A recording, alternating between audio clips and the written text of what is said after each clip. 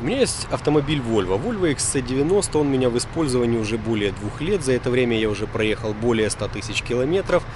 Но видео сегодня не об этом. Видео сегодня о головном свете, о том, какой он может быть, о том, какой он должен быть и вообще все связанное со светом.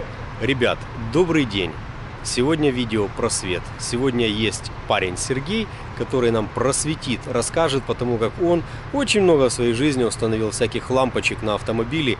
И он расскажет кучу тонкостей, деталей, моментов того, насколько это должно быть правильным, того, насколько должна быть правильно настроенная линза, что такое LED-свет, что такое галоген, что такое ксенон.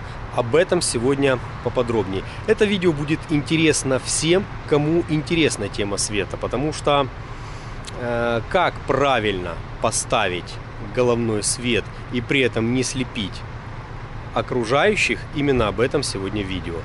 Видео для сравнения, какое оно одно, а какое другое. Почему для сравнения? Потому что я уже понимаю, что скоро я поеду парням делать свет. Вот на всякий случай вот здесь свет горит, вернее светит.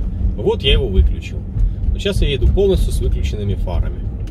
Вот здесь я его включил. То есть где-то что-то чуть-чуть видно. Ну, сказать так, чтобы видно классно. Ну, вот сейчас мы, наверное, еще и протрем. я протираю стекла, за одно сразу же протираются и фары. То есть брызгается на фары вода и промывается для того, чтобы фары были чистенькими, хорошенькими. Не, безусловно, что-то как-то оно где-то светит. Но назвать это ярким светом я вот точно не могу. Вот сейчас свет есть. Ну, понятно, если я его сейчас выключу, то света не будет. Тем более тут пешеход через дорогу бежит. Кстати, со светлыми полосами на штанах, но его практически не видно. Вот сейчас выключаю свет и вот обратно включаю. Я это видео оставлю для сравнения после того, когда чего-то здесь сделаем, либо же линзы почистим, либо же лампочки поменяем. В общем, чего-то с этими фарами нужно будет точно делать. И это точно будет скоро. Когда скоро, не знаю, потому как к парням, которые этим занимаются, к ним есть некая запись, некая очередь, поэтому, поэтому всему свое время. Позвоним, запишемся, попросимся, и я думаю, что они мне не откажут. Во сколько это встанет, не знаю, тоже посмотрим. Мне самому интересно. Доброе утро, серое, обыденное, хреновое. Одним словом, нормальное вот такое вот утро. Но не сегодня, не хреновое и точно не для меня. Потому что сегодня, блин, нахожусь под мостом. Вот это вот Сверху это мост. Это мост Южный. За моей спиной есть компания, которая называется «Замена лампы». И этих парней мне порекомендовали для того, чтобы сделать свет. Предварительно мы уже пообщались, и здесь реально будет одна офигительно здоровая проблема. Сейчас покажу. Э, дело в том, что вот это вот пластик, покрытый арабской вязью, и вот здесь вот, вот эти вещи, когда в момент распаковки, то есть фара это вся нагревается, и стекло, оно снимается. Так вот в этот момент это стеклышко, особенно вот в этом месте, может просто сломаться, и фара начнет потеть. Вот, поэтому сейчас будем пробовать смотреть. Парни пошли что-то там подсчитывать, во сколько мне обойдется этот банкет. Но я уже понимаю, что в среднем долларов 400, как за здрасте. Будет происходить полная замена линз. Э, скорее всего, из-за того, что посыпалось, ну, насколько я понимаю, я не знаю, но предполагаю, что из-за того, что э, рассыпалось внутри само вот вот зеркальное отображение элемента, вот из-за этого придется их и менять. Ну и, соответственно, лампы. В общем, сейчас будем смотреть, прикидывать, пробовать, что из этого получится. Парни говорят, что свет однозначно будет лучше. В рамках переезда в соседний бокс я не пристегиваюсь, потому что, ну, честно говоря, не успел. Я прыгнул, взял руку. Нет, не получится, надо пристегнуться, потому что он сейчас будет ныть всю дорогу. Да, так вот, в рамках переезда в соседний бокс я парням спросил разрешение, можно ли там снимать. Мне говорят, слушай, ну если снимать, давай мы переедем в другой бокс, там чуть-чуть будет больше места, потому что в маленьком даже, ну, будем просто друг другу мешать. И слава богу, что бокс у них оказался свободный. То есть меня сюда записывали мой сотрудник э, Сергей, один из экспертов. Но он не предупредил о том, что я могу и буду снимать все вот эти вот дела, передвижения. И парни говорят, окей, ну если снимать, тогда поехали в другой бокс. Он сегодня на счастье свободен. И там сейчас посмотрим, пообщаемся, что же это может быть. Во сколько это все станет и каковы шансы на успех того, что фары снимут целенькими. Сейчас парни пофотографировали все трещинки, которые есть, для того, чтобы понимать, в процессе выскочат новые или же не выскочат. Ну и вообще очень полезно иногда делать фотографию того, как оно было до и после. А сейчас парни будут производить замеры света того, какой он был до и какой он будет после. А в каком формате оно отсекается, можно его посмотреть? Это... Мы сейчас будем выставлять прибор, затем... Так, можно я? За, за, за, за. Пожалуйста. То есть сейчас здесь это цифры, они... Нет, мы сейчас что сделаем? Мы сейчас э, выставим прибор правильно, затем мы отрегулируем левую и правую фару, и вот когда мы правильно отрегулируем фары, нас прибор покажет галочку, здесь готово, выполнено. Вот, и вот когда покажет готово, выполнено, у нас будут правильные показатели по свечению. Окей, вот. я хотел спросить, что это за цифры? А, поток света, угол наклона. А, то есть некие значения, которые да. помогут э, понять в процессе, получилось да. лучше или нет, они есть. Да. Все, да. хорошо, не мешаю собственно, и добавить нечего. Вот этот лазерный указатель, он для чего? Для того, чтобы мы э, правильно выставили прибор относительно вот этой оси автомобиля. Ага, то есть... Э, чтобы у нас э, фара, мы, сейчас, мы же будем регулировать фару, выставлять лево-право по ширине свечения. И чтобы мы правильно выставили... Это он, да? Да такая вот лазерная штука. Я дело в том, что очень много видел, как э, корректируют фары, но я впервые вижу, чтобы был именно вот с такой штукой. Поэтому и спросил, не знаю, что это такое. Да, все нормально, просто сейчас подскажу. Вот, по винтикам сходится. Обычно, а, обычно выставляют, есть зеркальце, на этом зеркальце есть полосочка. И вот, можете сюда посмотреть. Вот это зеркальце. Угу. Обычный специалист смотрит в зеркальце, выставляет там по центру авто и смотрит, на, по факту на глаз получается. Сложно, но как-то же выставляют. Вот, у нас немножко проще, у нас есть лазер. Ага. В общем, парни вкинулись в оборудование, и теперь это все гораздо быстрее происходит и точнее, если перевести на всем доступный язык.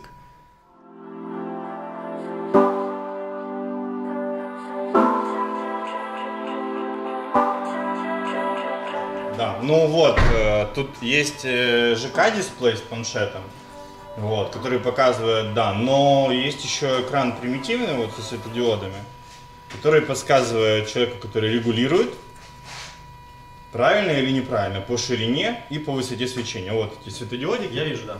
Вот, то есть э, малейшее отклонение, он сразу там желтенький переходит и так далее. Вот. Смотрим на прибор. У нас галочка. То есть, ну, как бы, тут не то, что на глаз, вот он говорит, правильно. Вот показатели, 15,2 люкса. А это сильно вылазит за норму или, или это норма? Ну, у нас машины обычно уезжают после э, модернизации фар, после замены штатных линз ламп на новые. Ну, показатели минимум 50-60. То есть 15, 50, 60 это в 4 раза? Ну, где-то так. Вау, я уже понимаю, что я, наверное, не зря сюда приехал. Если оно так будет, то... А как надолго этот эффект остается? Потому что При люди... использовании хорошей лампы, если не использовать э, китайские лампы, к примеру, когда колбу э, те же братья-китайцы э, садят на клеевую основу, она потом дает испарение, очень быстро портится отражатель. Если использовать хорошую лампу, допустим, ну, как правило, если на автомобиле стоит штатный ксенон, то рекомендовано Э, всегда ставить, э, ну, как минимум, либо остром, либо Philips. Вот, поэтому при использовании лампы остром или Philips, оригинальной лампы, то срок службы отражателя более трех лет. Возможно и 5, и 6. Можете заснять э, показатель по этой фаре, пока я не передвину прибор. То есть мы сейчас имеем 15,2 да, 15... это сила свечения, но это всякие отклонения. Это да, угол наклона горизонта и так далее. Окей. Ну, старт левой фары есть, как оно будет на правой, посмотрим. Да, Сашка, тебе сегодня будет снимать. Ну, не в том сенсе, что ты думаешь снимать. Чё, 6,1? Не-не, мы сейчас поднимем ее. А, для того, чтобы в самый да, для зрачок того, чтобы засветить. были правильные показатели, нужно ее выставить. Но все равно 6,2. А если будет там порядка 60, то это что, в 10 раз сила свечения, ну как-то... Не верится? Ура, стало 5,8. Ну, как-то так. Как-то, как-то... Я теперь понимаю, что левый глазик светит сила пучка в два раза больше, чем левый.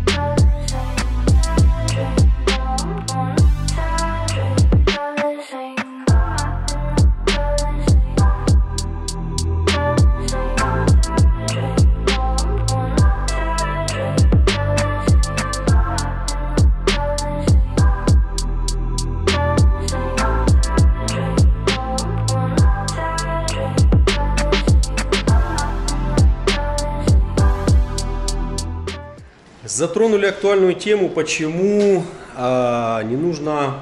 Сереж, как правильно? Не, можно, наверное, сказать, задать вопрос иначе. То есть многие спрашивают, и, в принципе, это достаточно актуальный вопрос, почему э, мы не ставим билет линзы.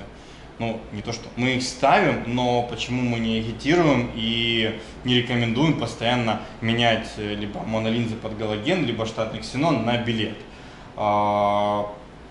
Все довольно просто, потому что билет не очень практичен. А, почему не практичен? Ну, возьмем самое простое, возьмем а, вот, э, хорошо, купил человек новую машину с салона со светодиодными фарами. Э, Самая распространенная машина, которая вот очень часто обращалась с проблемой, там заливают фару водой, там что-то там светодиод не работает и так далее, э, это Audi A6 C7. Если кто-то видел, типа вот, таких много квадратиков. Мгм. Постоянно трескаются стекла, постоянно Ну, проблемы с Q7 фарами. точно так же. Вот. а, что делает владелец, при, при- что делает владелец, который может себе, в принципе, позволить купить такой автомобиль? Она у него еще на гарантии, он приезжает, э, эту фару по гарантии меняет, либо по страховке и так далее.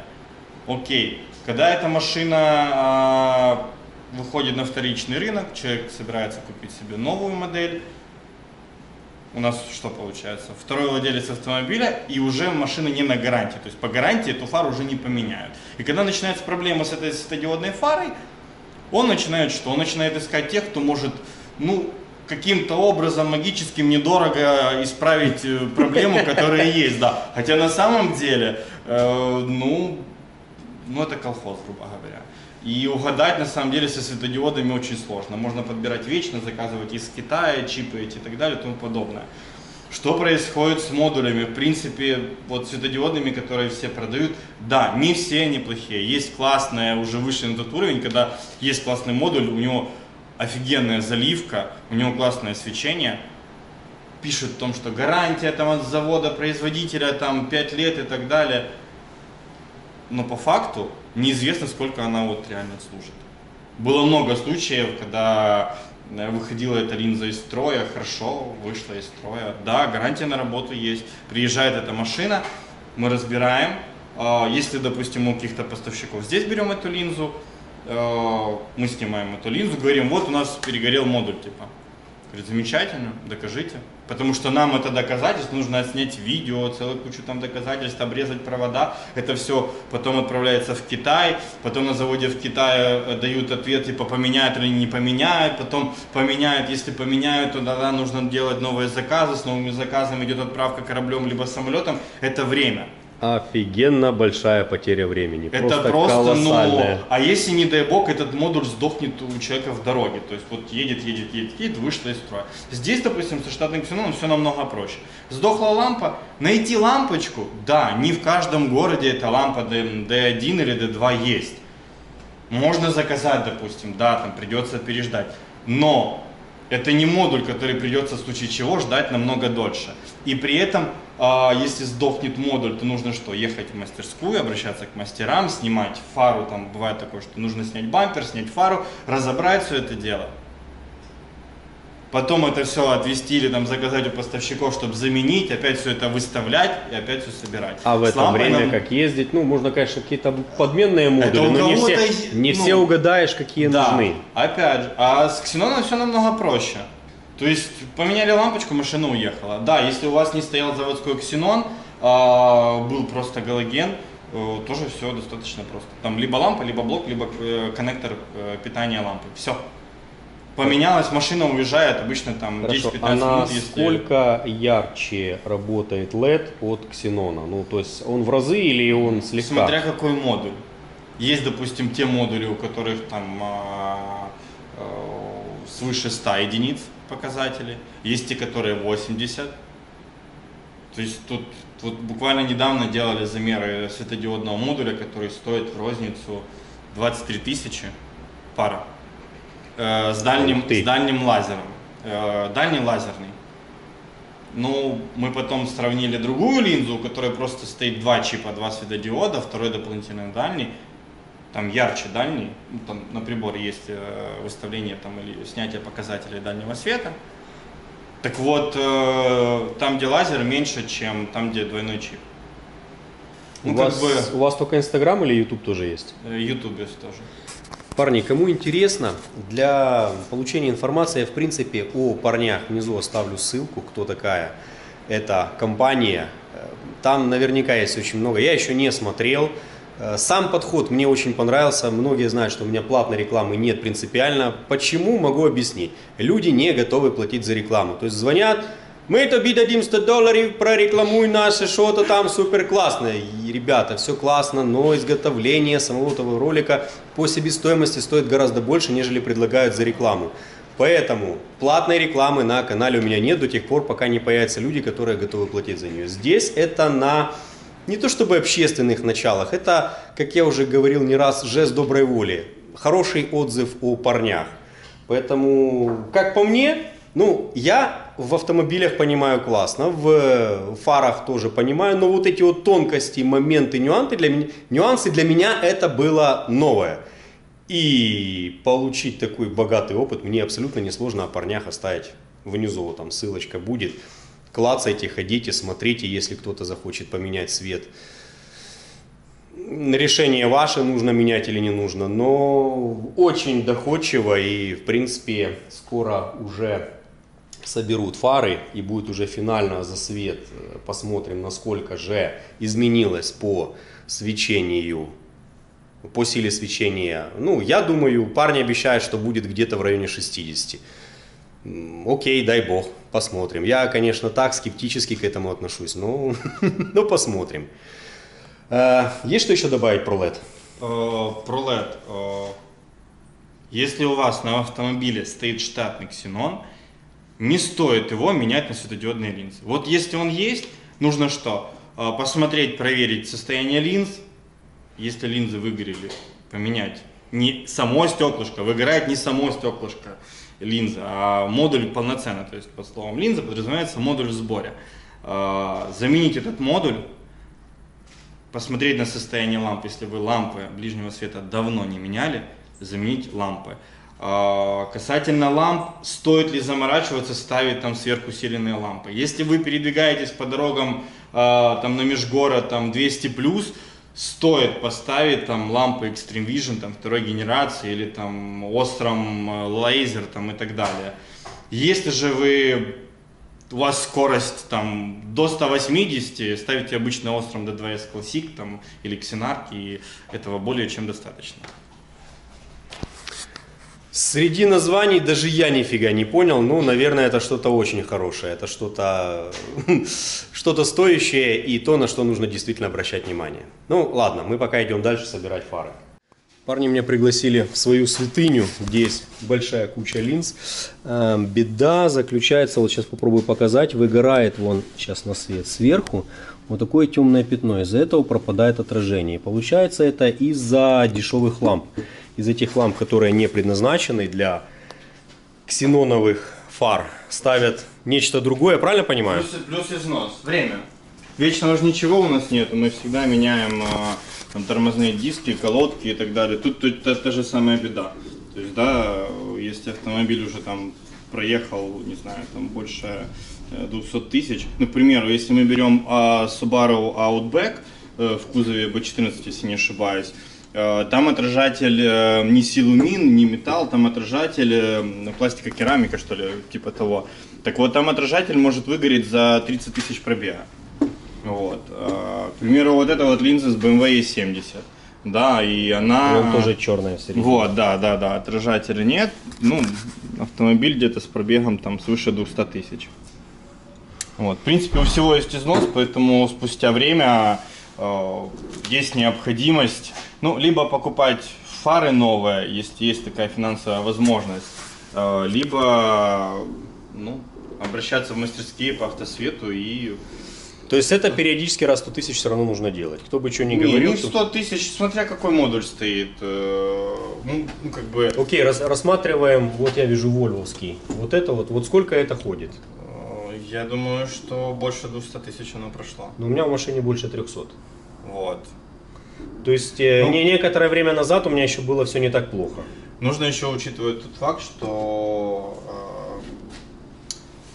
эти модули устаревают как морально, так и физически.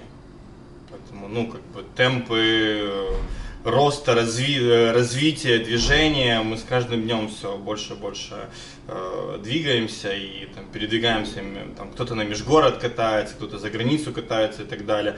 Дороги у нас на самом деле не, не очень удачные, не знаю, кто за это отвечает и почему так происходит, но э, нам элементарно с, одной, с точки А в точку Б, допустим, проехать 500 километров, э, опять же, если мы едем без света, то мы этот путь проедем там, да, там, за 8 часов, потому что мы будем стараться аккуратно передвигаться, там, когда на улице темно уже. Если же у нас хороший свет, да, мы уже понимаем, да, какую дистанцию можем держать, что мы видим э, там впереди, там и так далее. Поэтому от цвета на самом деле многое зависит. Там, да, там, э, недостаточно одного двигателя. Это как мы делали одному парню э, Subaru со Львова, и он доехал э, обратно домой. Вот, и он опубликовал э, в своем борт-журнале запись о том, что типа я домой доехал намного быстрее. Ему пишет человек типа, ну при чем тут тебе же фары делали, тебе же не делали, там не прошивали там коробку, там двигатель и так далее.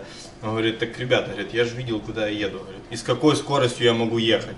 И тут есть еще немаловажный момент, тебя видят, когда едешь. Ну и тебя видят. Ну, видят, а, лучше пусть видят, чем они будут ослеплены, вот.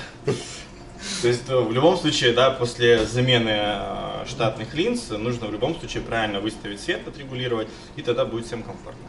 Насколько Но, ее хватит? Ну, я думаю, что на годика 4 так точно реплика не с прозрачным стеклом, она с матовым стеклом. Поэтому дискомфорта у вас э, после замены штатных линз не будет. А какая разница матовая? Разница в том, что если поставить э, на ваш автомобиль ваши фары, у которых есть поворотный механизм, э, во всех этих механизмах есть люфты. Заводские. Заводские люфты. То есть, да, вот едут, говорят, типа, вот он у меня там дребезжит. Вот, да, если в этот механизм, который у вас двигается лево, право, вверх, вниз, поставить линзу, с прозрачным стеклом, когда видели, может, на автомобилях такая вот прям резкая граница, прям отрезает. Ну, это как у Сережи, да. Вот, как у Сережи. Вот. Но у него фишка в том, что, допустим, мы поставили универсальные линзы. В данном случае чего он может поставить, допустим, вместо ксеноновой лампы, он может установить там, ну, вдруг там в дороге перегорело, он без проблем тогда может установить галогенку H7, и у него будет ближний свет. Как минимум его не оштрафуют. Ну, это если вдруг он поедет в Европу там и так далее. Вот. Э, в данном случае, э, когда есть поворотный механизм, есть вот эти вот доп. люфты заводские, лучше ставить линзу с матовым стеклом. Для того, с чтобы более плавным рассеиванием, граница. и у вас не уставали глаза, и не было такого раздражения. Эта линза какая-то более лупатая, что ли? У это? Да, меньше. Да. А для чего так делается? Ну да, сейчас, сейчас видно будет. Так, куда смотреть, что делать, или это показывает? Ну вот свечение, то есть видно вот есть галка. Галка имеется в виду, это вот эта вот штука, да? Да. А теперь берем вот руку, руку вот сейчас проверяем. Правда нет света? Ага, понял, да. И ниже под галкой вон уже потери Да, то есть получается основной пучок света только Да, вот здесь. вот там он только и есть.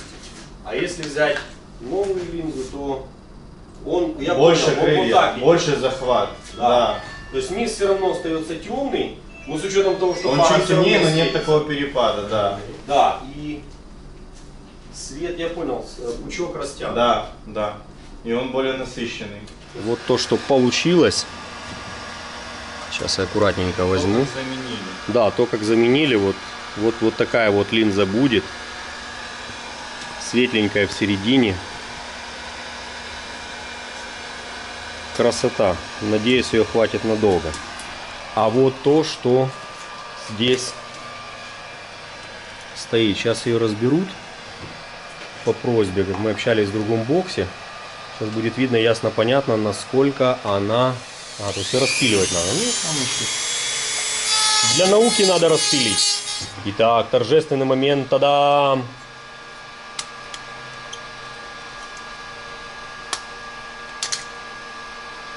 Ага, все равно он- она сверху подгорела, а внизу она классная. А если ее вот Но так у нас, перевернуть? у нас несущая часть, верхняя часть отражателя. А, она- она, она- основная. Вот как раз она потом проецирует э, световой поток. Она, да, я понял, она его так разная. И, короче, перевернуть не получится.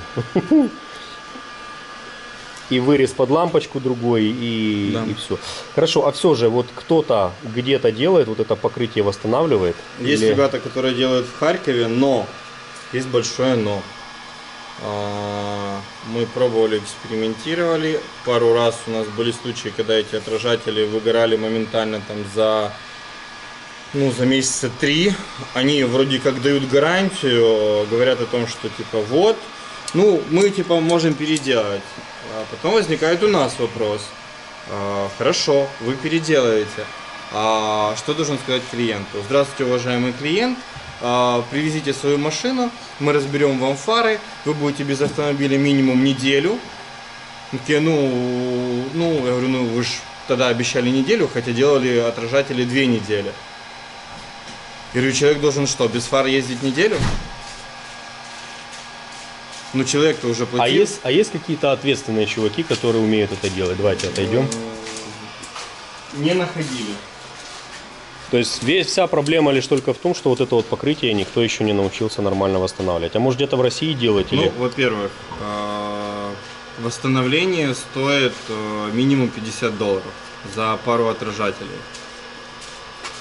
Им не нужно забывать о том, что эти линзы устаревают как морально, так и физически. То есть, даже если мы восстановим отражатель, то в современных наших условиях, ну, как бы уже не очень актуально. Хотелось бы лучше свет. Ну, раз уж ты лезешь в фару, в любом случае, для того, чтобы достать эту линзу и этот отражатель, нужно разобрать фару. Разборка, сборка фары э, стоит в среднем там, да, там, от э, двух с половиной да, там, до 4 тысяч. Ну, в зависимости от того, как- как- какая фара по сложности в разборке. А теперь другой момент. Это как, э, ну, я не знаю, взять... э, не- ну, там, нужно, допустим, доставить с точки А в точку Б какую-то деталь, эта деталь будет стоить 100 долларов, а за доставку нужно заплатить там 400 долларов. Есть смысл? Нет никакого смысла. Тут то же самое. Если э, уже человек решил, что он будет разбирать фару, и он за эту работу заплатит там, грубо говоря, 100 долларов, э, ну, может, тогда есть смысл не платить 50 долларов за линзу, которая устарела морально, а доплатить там, не знаю, там 60-70 долларов и поставить э, линзу, которая действительно будет хорошо освещать дорогу. У нее будет намного лучше захват по ширине и высоте свечения, э, лучше световой пучок сформирован и тому подобное. Поэтому, ну, затея такая себе, спорная как бы. Сэкономить как бы на, на, на общем фоне 50 долларов, ну, смысл при этом потратить временем. То есть эта фара будет разобрана, эти отражатели будут восстанавливать неделю. То есть Аргумент. получается, человек переплачивая, да, там те же 60-70 долларов, за что? Он переплачивает за то, что она современная, э, за скорость, ну и за эффективность по факту. Насколько новый объектив Есть салфетка чистенькая. Ну, я вижу, что вот они, э, вот я как бы чпок, и оно... копать от лампы. Видно, Лео? М, Здесь вот. Да. А это как-то отполировать можно? Ну вот мы будем пробовать вымывать, и если будет необходимость, то будем полировать тогда. Вот это вот так вот надо, туда лучше видно. Видно?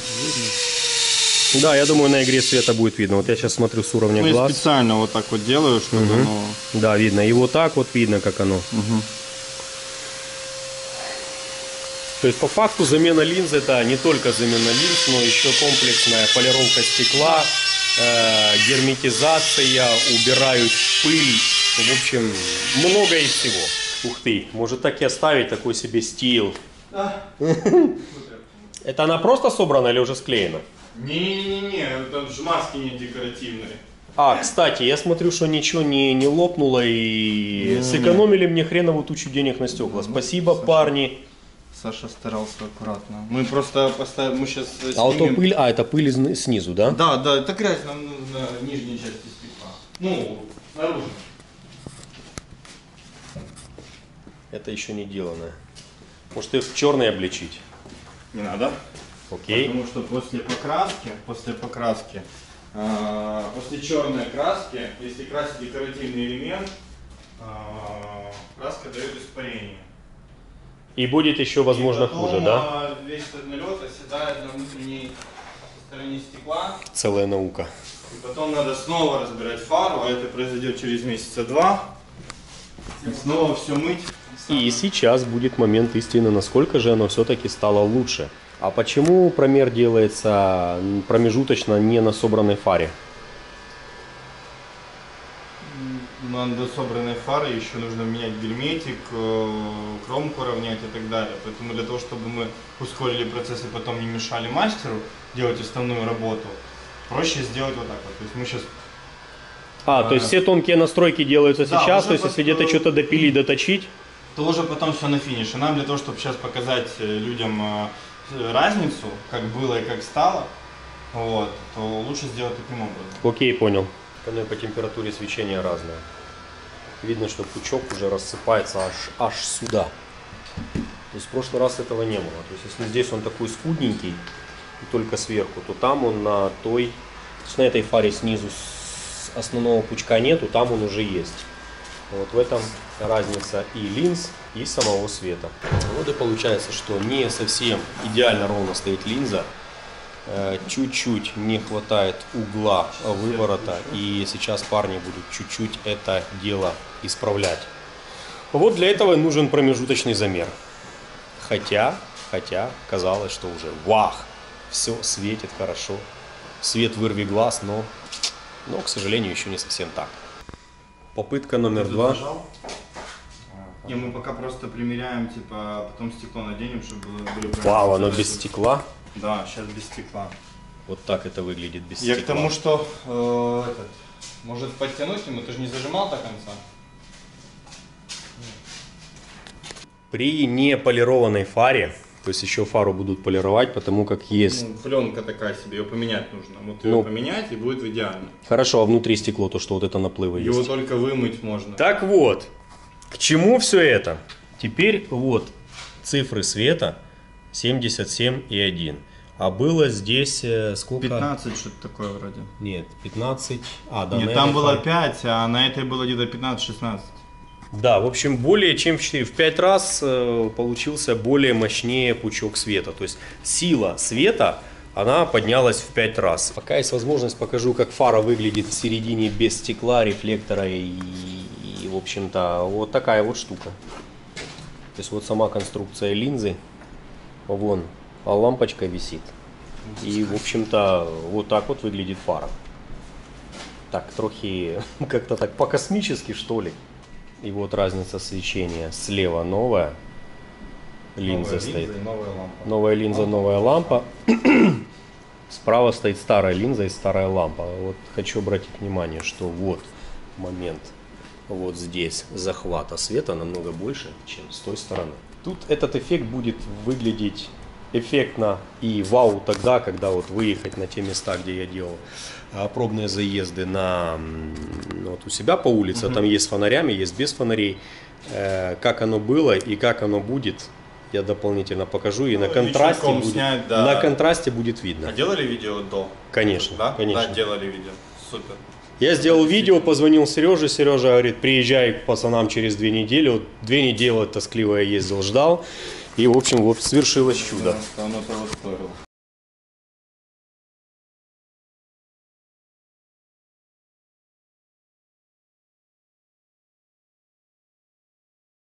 Почему, допустим, если представить, что это отражатель под галогенную лампу, допустим, ну, есть монолинза под галоген вот, на автомобилях. Когда лампочка устанавливается, несущая часть отражателя верхняя, то есть вот, вот отсюда исходит ближний свет. Угу. И вот когда становится галогенка, потоку ничего не препятствует.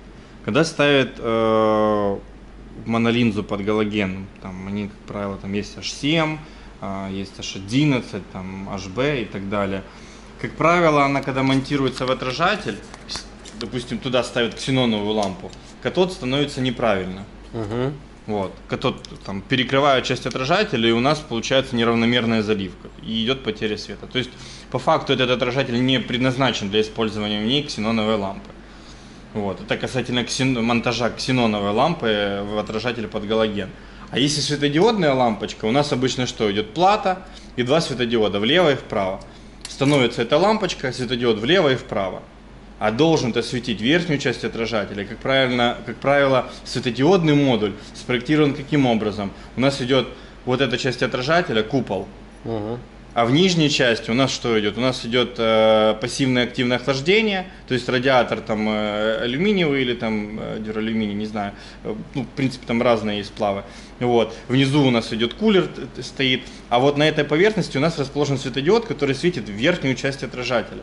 Поэтому, когда люди пытаются поставить светодиодную лампочку, у которой заявлено там 40 ватт, 50 ватт э, мощность или яркость свечения, то этой мощности нет и не будет ее, потому что мощность это двух светодиодов, а светят они в разные стороны, они должны верхнюю часть отражателя. И даже если попытаться развернуть так, чтобы один хотя бы светодиод смотрел верхнюю часть, у нас уже не будет 50, у нас уже будет 25.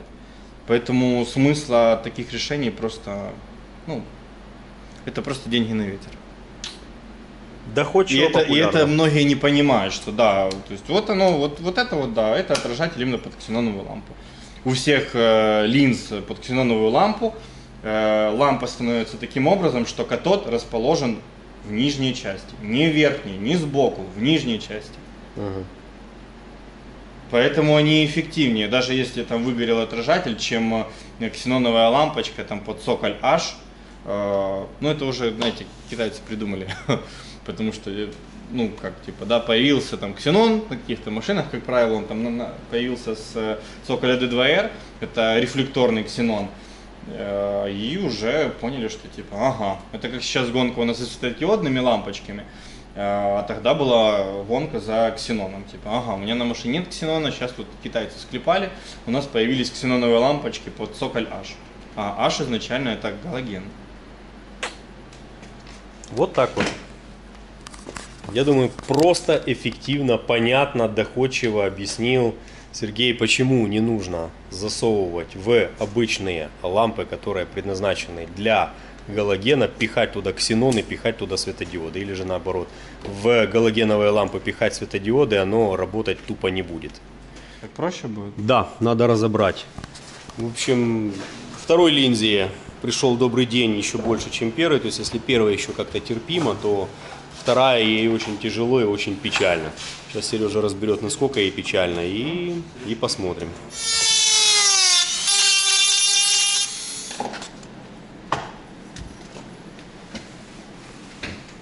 А, то есть то, что она такая вот черная аж, да? Да. То, что поплыла. Там нечему отражать просто-напросто. Да, беда, поэтому и пять с половиной. 300 тысяч. Кончилась фара. Хм, Дурное дело не хитрое. В общем, если ее протереть, то там уже все поплавилось в чистом виде. И это не китайская какая-то фара, это Оригинал. Original Valio. И вот так он, он течет. То есть все машины созданы для того, чтобы проездить 100 тысяч, а потом на, на, на, на помойку, на свалку. Ну или же на замену лампочек.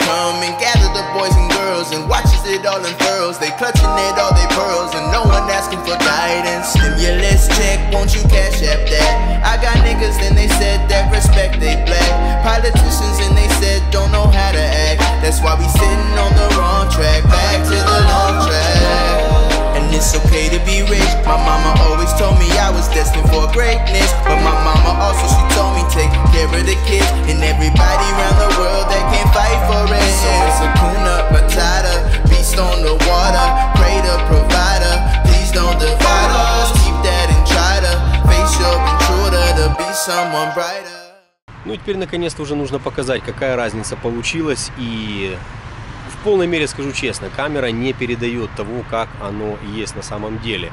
Но обещал все равно покажу вашему взору то, как оно должно быть. Э, Вернее, разницу светом того, что было до и того, что стало после. Запишу еще здесь видео о том, какой свет, потому как хочется уж сравнения в тех местах, где я часто бываю. И вот сейчас это моя парковка. Ну как моя, эта парковка, конечно, не моя, она полуобщественная, но это то место, где каждый день я паркую автомобиль, если я ночую дома.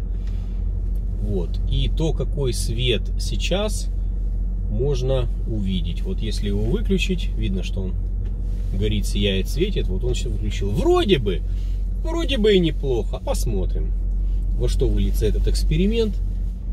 И вот включить обычный свет, при этом выключить туманки. Спасибо, что досмотрели это видео до конца. Ну а с вами был Николай Тарануха, Киев, компания 1 Авто. Всем удачи на дорогах, всем пока-пока.